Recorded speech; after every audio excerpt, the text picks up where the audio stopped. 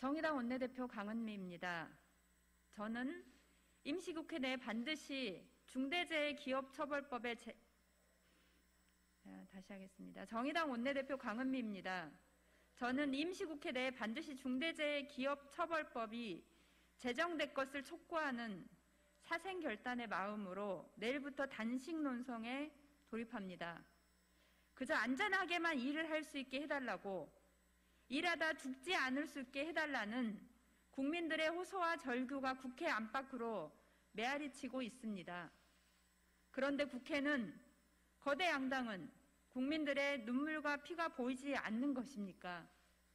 국회 내에서 소리치고 계시는 중대재해 피해자 유가족분들은 보이지 않으십니까?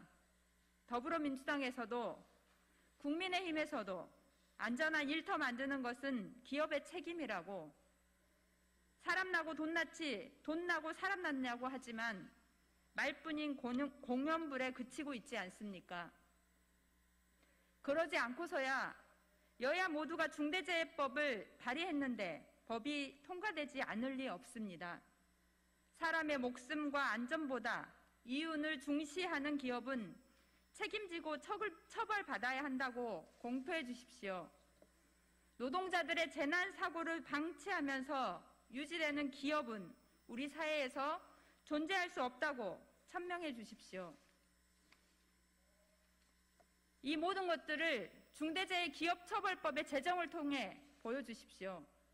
중대재해기업처벌법이 통과되지 못한 채로 정기국회가 끝나버린 다음 날인 오늘이 컨베이어 벨트에 쓰러져간 김용균 님의 이주기라는 것을 기억해 주십시오.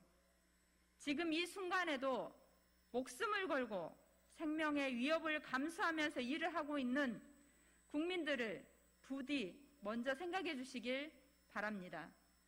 72시간 동안 유가족분들과 철야 농성을 진행했음에도 중대재해기업처벌법이 여전히 진척되지 못했다는 것에 참담함고 유감을 표합니다.